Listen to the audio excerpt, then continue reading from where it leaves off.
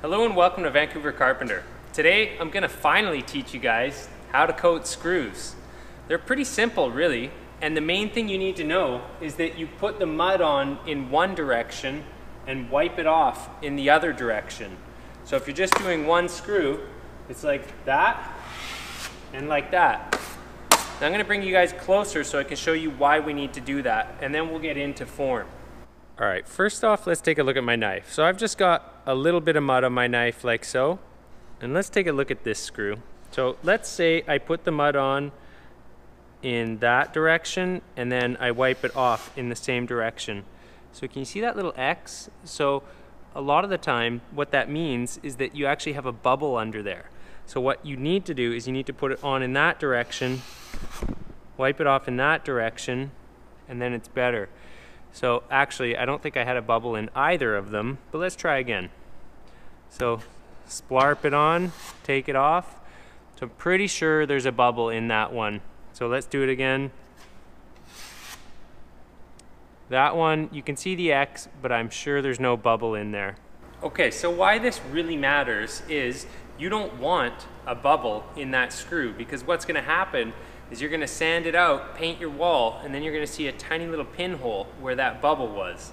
So in order to get rid of that, it's just putting it on in one direction, taking it off in the other, and that seems to solve it every time. Next, let's get into speed. So you could do it this way, one at a time. I often do, but you might wanna use a smaller knife if you're gonna do it that way. So I have a six inch right here. If you wanna do them one at a time, use a four inch. You're gonna be putting less mud on the wall and it's just gonna go faster. However, if you wanna do it with a little bit of speed, again, so I'm taking a little bit of mud out of here, you know, about that much. And what you can do is you can do the whole row. So you can go right from the bottom and you can wipe them all down. Well, of course I missed one because I'm showing you guys. We get these ones down here.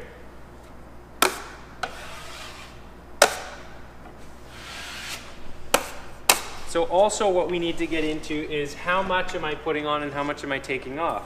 So it's just a thin enough layer to cover them all and then I'm changing the angle of my knife. So when I put it on, my knife is really flat, like so.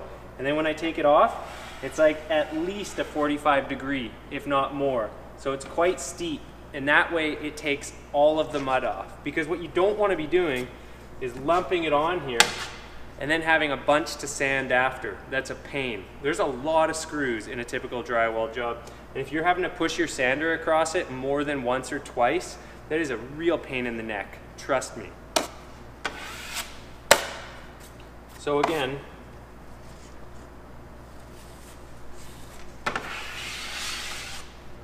I'm out of practice, you guys. I'm making more videos than I am uh, doing this job these days.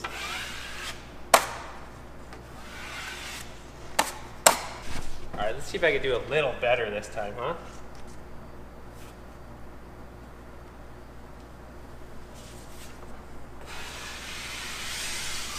Almost made it up to the top. But that's a long stretch right there. Usually there's only like two or three screws in the middle of a sheet, so it's more like a lot faster.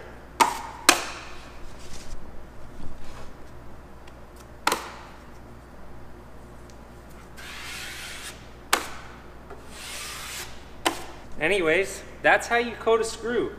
And screws need a minimum of two coats. So right now I'm using all-purpose mud. That's another thing that's really important to note. You want to use an all-purpose or a taping, or if you're gonna use a quickset, maybe if it's a brand that doesn't have good adhesion, you might wanna add a bit of glue. But I like to use, you know, ideally just taping or all-purpose to coat my screws. Second coat can be with a finish mud because you've already bonded to the screw head really well. But that's it. Just lay it on, take it all off really thin.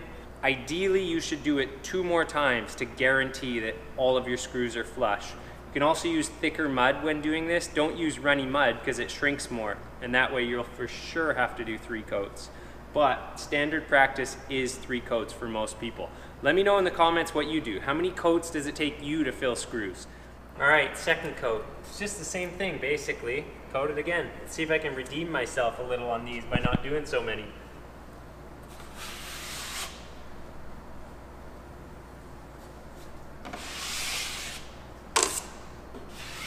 Definitely can't do it as smooth as somebody who tapes all day every day. And I always leave little blobs. Which is why this is my preferred method.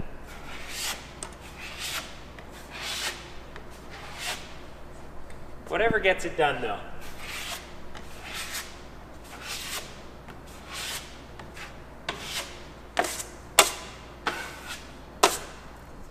So these do need one more coat. I'm gonna bring you guys up close. Hopefully you can actually see it in this light. There it is. You guys can see that. See that little bit in there? That means it's empty. So yep, one more coat.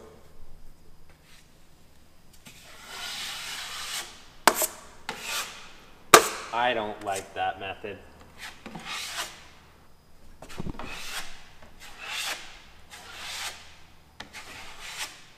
So these are now officially fully coated, so we'll come back and sand them on the next day. If you coated your screws lightly, the sanding should be a breeze. Like it should not take long. Done. That's it. So that's how I do screws. I hope you got something out of this video. I hope your screws are going well. No more of those little mountains and molehills. Anyways, thanks for watching Vancouver Carpenter. Hope you found this video useful, and until the next one, thanks for watching.